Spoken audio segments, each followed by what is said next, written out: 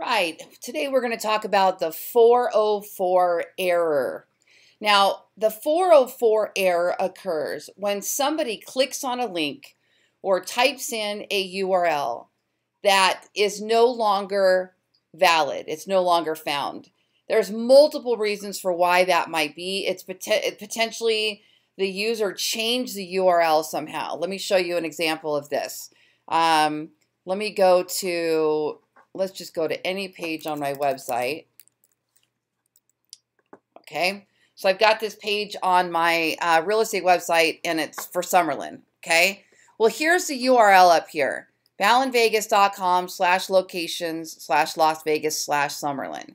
Now let me click Edit Showcase. See this URL here? I'm going to click Edit. And what happens is people without realizing change this slug, this, this keyword, the word that comes after that slash. If you change that slug, it's no longer a valid link. Now, if you're using WordPress and you have Yoast Premium on your website, if you were to change that slug, Yoast would automatically create a redirect that says, if anybody clicks on this old link slash Summerlin, then send them to this new link, whatever you had put after the slash. And it takes care of all that stuff for you, which is incredibly nice. But if you don't have that set up and you change that slug, you're going to be breaking links all over the place. And this happens quite frequently when people are beginning and they don't know any better and they think they just want to make a, you know a sexier permalink or they want to put a keyword in there or something and they change it without realizing okay um, could also be maybe you switch from HTTP to HTTPS and the redirects weren't done correctly. Um, redirects not being done correctly is a, is a large reason why we have um, 404s. If you delete a page, you just straight out delete a page without doing any kind of redirect, you'll have you could have a 404 page not found. So there's lots of reasons for that. Now what happens is in many cases, um, let's see if we can find a, a, a, a 404 page. Let me try something. Walmart.com slash um, window cat. I'm trying to, I'm typing in a URL I know won't be there oops, hold on, walmart.com. Yeah. That would be funny if it came up with window cat. Okay, this is a great example. Okay. So you just get a basic page that says, sorry, this page cannot be found. Now, the nice thing about this particular page is they do have a very obvious call to action with that search bar where the user can start searching. And they also have a button here that says go to our homepage. So it's not completely dead, right? Let's look up another one. Um, petsupplies.com slash cat dog mouse. okay. All right, so they have created a custom 404 page here that allows the person to go back to the home page, visit their top categories, browse their sitemap, contact them, and then they have a very comprehensive menu. So again, these are great. Um, but sometimes you'll just see a large oops, this page cannot be found and there's no other direction to send them. That's not what we want. We want to make sure that if they land on a page that cannot be found, that we're giving them direction. And a lot of people have a lot of fun with this and make it silly and use funny pictures. In fact, I think I'm going to add a video to mine. But let's take a look. Here's my real estate one. All right, so I'm acknowledging the fact that the page that they were looking for can't be found. But I'm immediately adding a call to action where they can find out what their home is worth.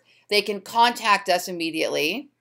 I have a testimonial, and then I have some buttons here to our top um, to our top articles that that many people like.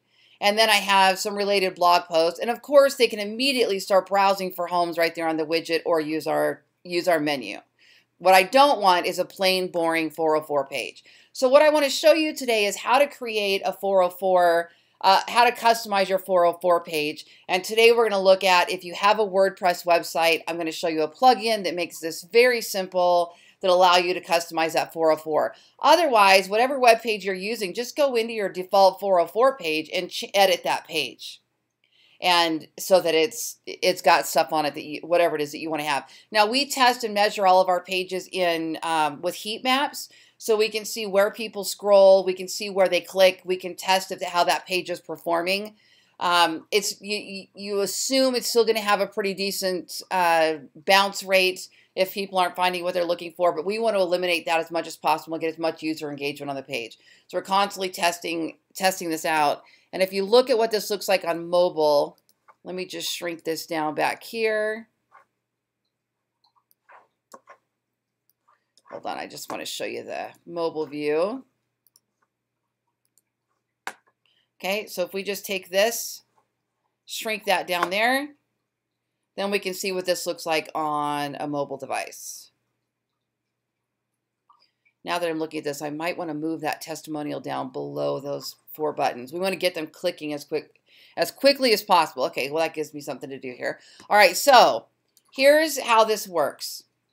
There is a plugin. So what I'm going to do here is we're going to go over to um, our dashboard. And I'm going to go to plugins.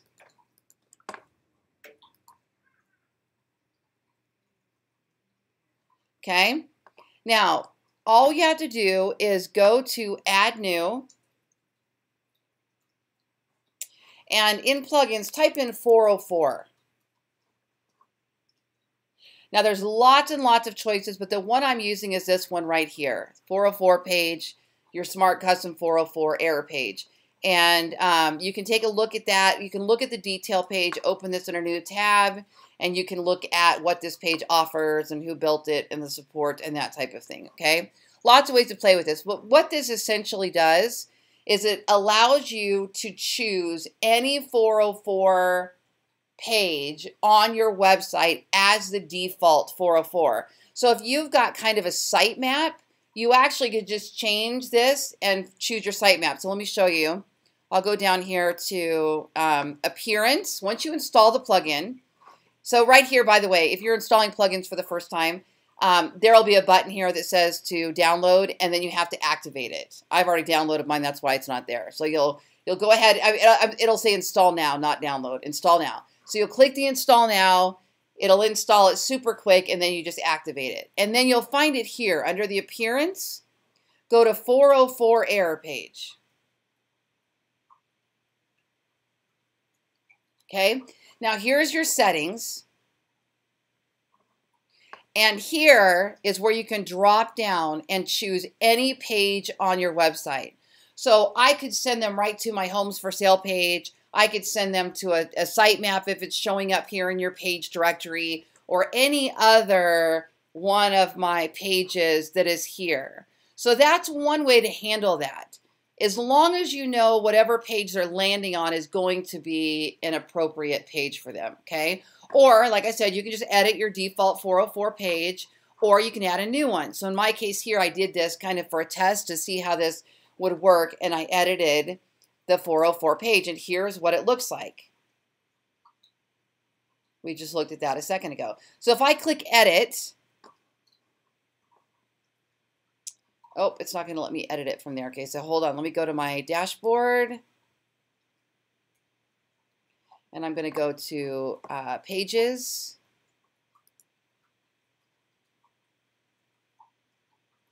And we're going to type in here 404.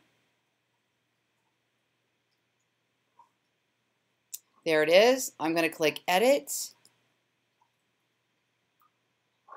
Okay, and here's where I would edit this page.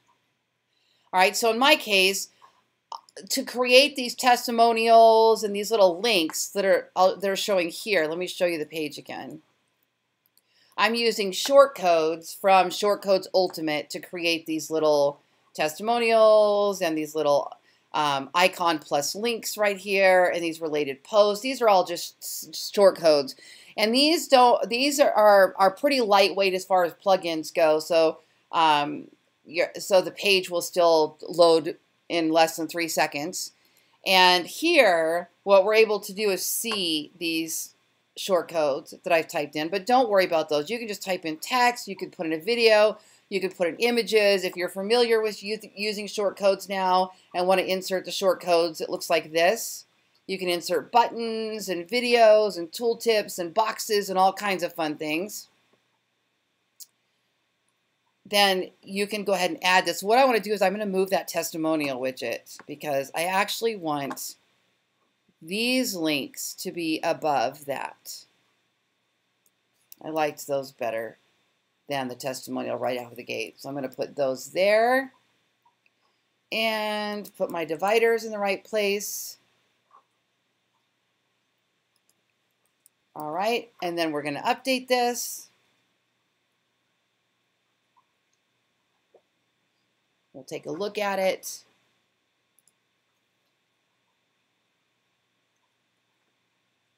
Much better.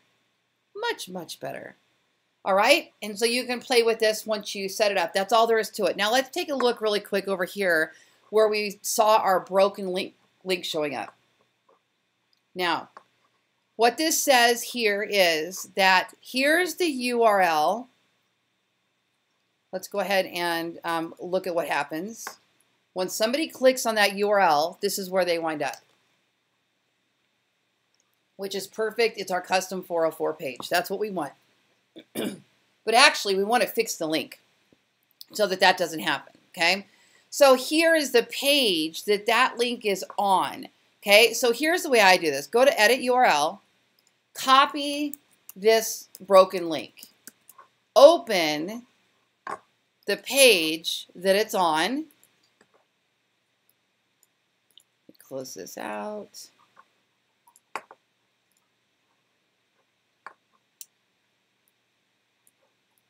Oh, I see what happened. I actually got rid of that page. I redirected that page. Okay, so here's what's happening. So for me, what I want to do here is I want to go ahead and um, I don't want to. I don't need to worry about this actually because this this page moved, so nobody's going to find this link there. So in this particular case, I'm going to go ahead and click the unlink so that there's not a link out there on that page at all, and then it disappears. Okay. Now let's go ahead and look at another case. So in that particular case, just so that you're aware, the link was broken because the parent page that I had that link on was moved. And so that's why that page is no longer valid. So as long as that link's not out there anywhere else, it doesn't matter because the parent page was deleted. Nobody will ever find that link. It's okay just to unlink it and, and dismiss it. Now, in this particular case, we have, let's take a look at our 99 things to do in Valentine's Day.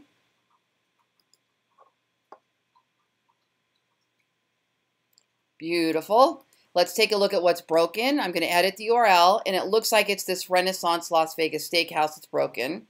Okay, so let me look at what happens when somebody types that in.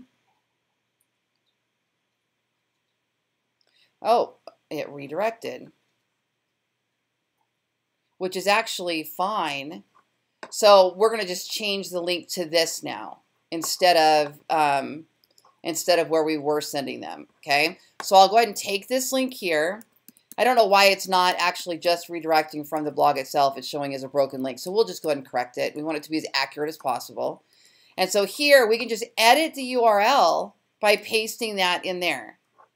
Click update. Problem solved. Recheck it. So I don't even have to go to the page to solve this error. How genius is that? I just love this. This is one of my favorite things why I've chosen WordPress is because the the for those of us that are, you know, really content driven, we build websites, we understand blogging, we understand video, we understand social media, and we're we're really driving our traffic through through multi-channels and it's not just the really back end nuts and bolts of SEO. We don't want to spend a lot of time on our websites figuring that all out. So anything that makes things quicker and easier for us is, is amazing, and this is a great tool for that. Um, let's go ahead and fix this last one here. So I'm going to open the link. It's Angie's list of Las Vegas pool builders. Okay. Oh, it looks like I'm sending them to a Google URL. And for some reason, that's not working. So let's edit the URL.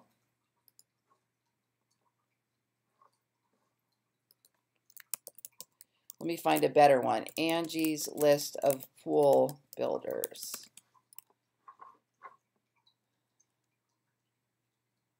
Right there. Okay. Mm -hmm. Let me find, hold on, let's do this way.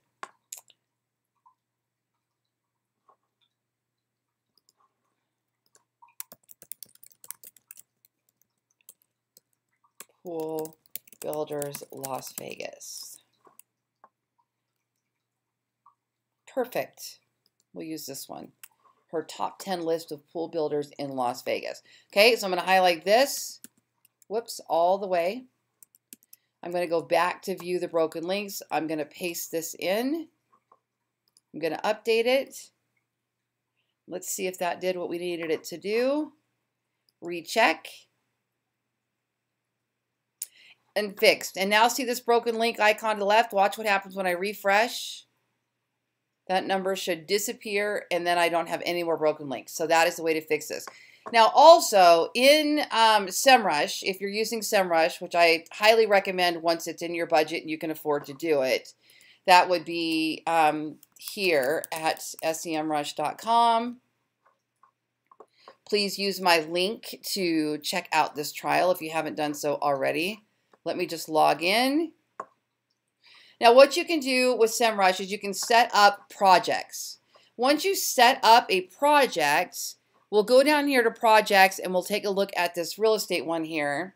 Then you can run a site audit on the project. And I'm at 100% because I spend a lot, I do pay attention to my um, site audits and I clean things up as quickly as possible.